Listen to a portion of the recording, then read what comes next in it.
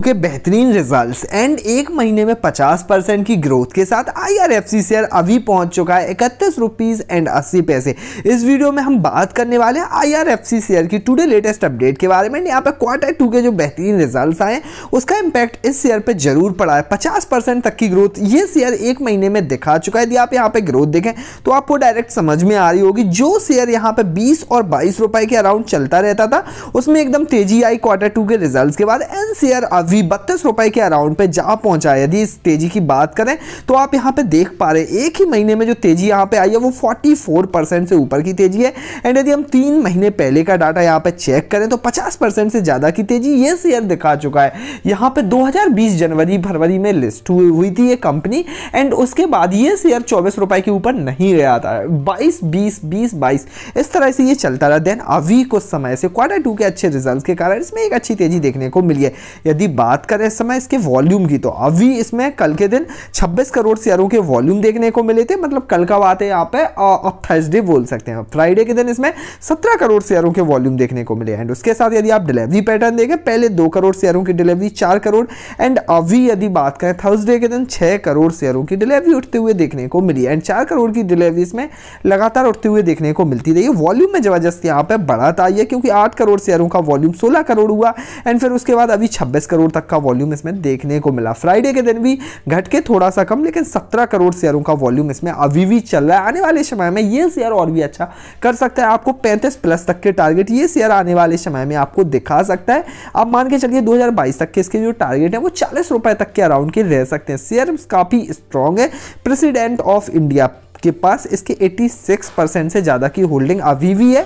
And बात करें H bank के समूह जो एच डी ग्रुप है, उसके पास भी एक बहुत बड़ी होल्डिंग 1.6 परसेंट की। यहाँ पे एक बहुत बड़ी पॉजिटिविटी की तरफ़ इंडिकेशन तो दे ही रहा है, क्योंकि एच जैसा ग्रुप आप मान के चलिए यहाँ पे one number one and number two group यहाँ पे इंडिया के माने जाते हैं। एच डी ग्रुप की यदि बात करें तो ये बहुत बड़ा ग्रुप है एंड उसकी भी इसमें होल्डिंग है वन बहुत बड़ी होल्डिंग होती है।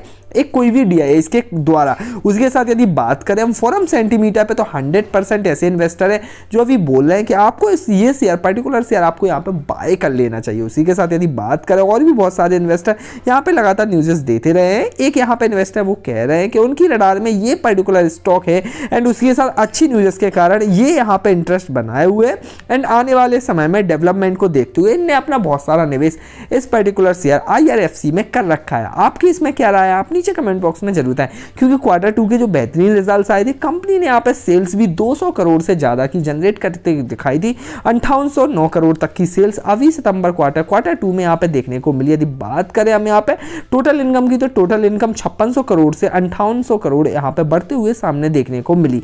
खर्चे की बात करें तो कंपनी ने ओनली सैंतीस करोड़ के खर्चे किए जिस कारण से कंपनी का जो नेट प्रॉफिट है, वो एक करोड़ का भी जा पहुँचा है। क्वार्टर वन की तुलना में ये प्रॉफिट भी यहाँ पे काफ़ी ज़्यादा इंक्रीज हुआ है। आप यहाँ पे मान के चलिए, लगभग लगभग पचास करोड़ से ऊपर का प्रॉफिट यहाँ पे क्वार्टर वन की तुलना में इंक्रीज हुआ है। टोटल जो प्रॉफिट है वो सत्रह करोड़ के अराउंड है, जो बहुत बड़ी पॉजिटिविटी की तरफ़ तो इंडिकेशन दे ही रहा है।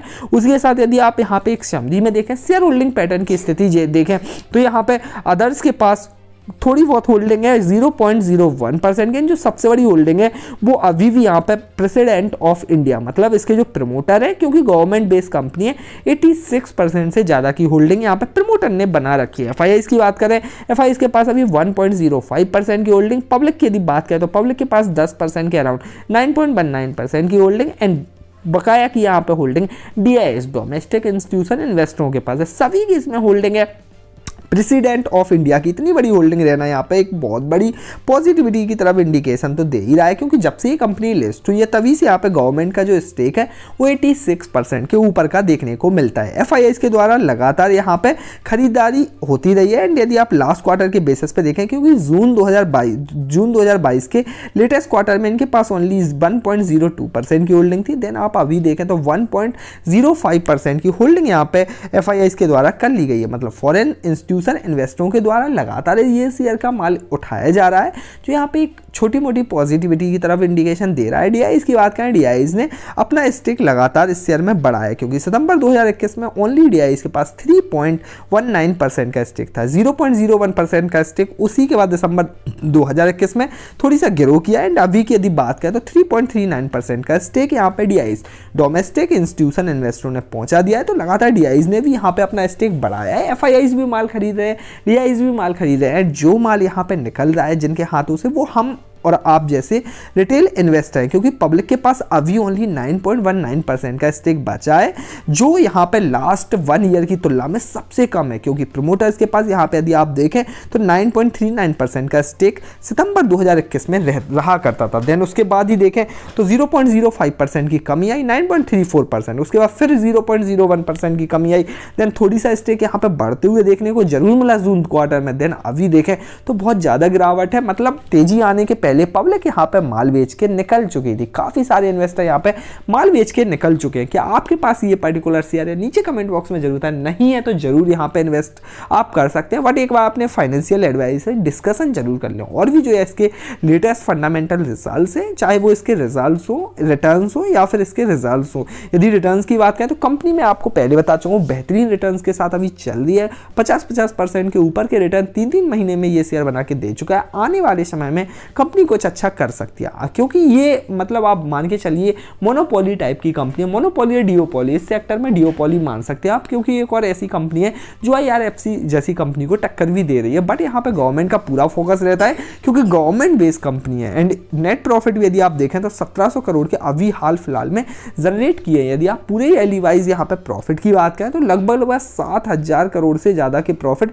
ये जनरेट कर लेती है एक साल के अंदर। तो आप समझ पा रहे होंगे, इतनी बड़ी कंपनी है, लेकिन ये पर्टिकुलर जो शेयर का प्राइस है, वो एक पेनी स्टॉक की तरह दिखता है। बकाया आपका ये शेयर में क्या मानना है? नीचे कमेंट बॉक्स में ज़रूर वीडियो पसंद आए वीडियो को लाइक ज़रूर करें चैनल पर पहली बार वो सब्सक्राइब करें। हम मिलते हैं नेक्स्ट वीडियो में लेटेस्ट इन्फॉर्मेशन के साथ।